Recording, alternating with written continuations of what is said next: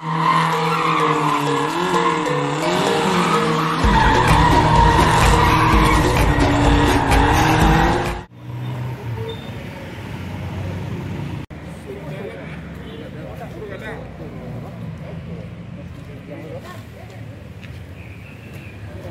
itu lempar lemparnya di laka kan.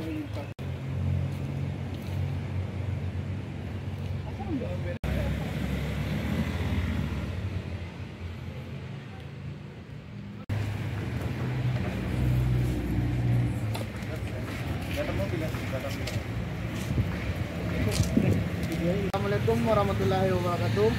Saya Adi Aulia Alvin, pekerjaan wira swasta. Saya mengakui perbuatan saya drift di Simpang Kangkuang pada hari Kamis tanggal 6 Mei jam 1 dini hari.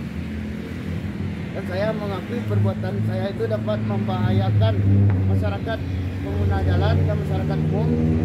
Dan untuk atas perbuatan saya tidak nyaman, saya memohon maaf kepada masyarakat umum dan pengguna jalan lainnya. Itu ada. Coba Pak, tidak biasa itu deh.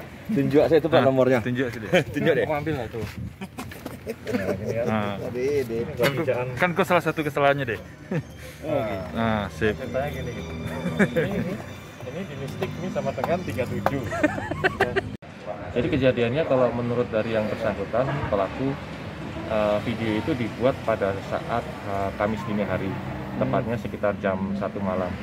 Jadi kronologisnya eh, yang bersangkutan pada waktu itu pulang dari bengkel mobil yang biasanya didatangi, kemudian memang sengaja untuk nongkrong di Jalan Sudirman. Oh iya. Nah, sekitar jam satu malam uh, melakukan kegiatan tersebut direkam oleh temannya sendiri Oh, gitu. seperti itu. Jadi tujuannya melakukan aksi itu apa katanya Pak? Uh, memang sudah menjadi kebiasaan, memang sering. Cuma di TKP yang di Jenderal Sudirman ini baru kali ini dilaksanakan. Selanjutnya tindakan apa yang kita ambil Pak? Uh, yang jelas kita akan melakukan tindakan berkaitan dengan tilang. Hmm. Ada empat pasal yang kita kenakan Ya. berkaitan dengan tilang tersebut. Yang pertama berkaitan dengan knalpot, Ya. knalpot racing, kemudian tidak menggunakan nopol kendaraan, Ya. kemudian berkendara yang membahayakan pengemudi atau keselamatan orang lain, Ya. kemudian berkendara dengan tidak wajar. Oh gitu. Ada Mo- empat. Mobilnya kita tahan Nah, ya. mobilnya kita tahan selama satu bulan di sini. Oh, gitu. Pak ada himbauan Pak untuk pengendara muda lainnya Pak. Ah, yang jelas untuk seluruh pengendara, terutama yang ada di wilayah Polres Bukit Tinggi, di wilayah hukum Polres Bukit Tinggi, agar selalu mematuhi aturan yang berlaku.